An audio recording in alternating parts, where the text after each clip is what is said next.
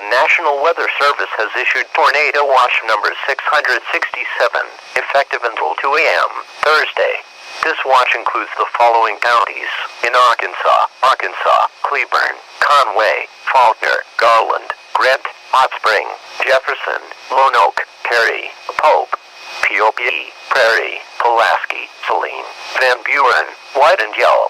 Remember, a tornado watch means that conditions are favorable for the development of severe weather, including tornadoes, large hail and damaging winds, and, close to the watch area. While severe weather may not be imminent, persons should remain alert for rapidly changing weather conditions and listen for later statements and possible warnings. Stay tuned to NOAA Weather Radio, commercial radio and television outlets, or internet sources for the latest severe weather information.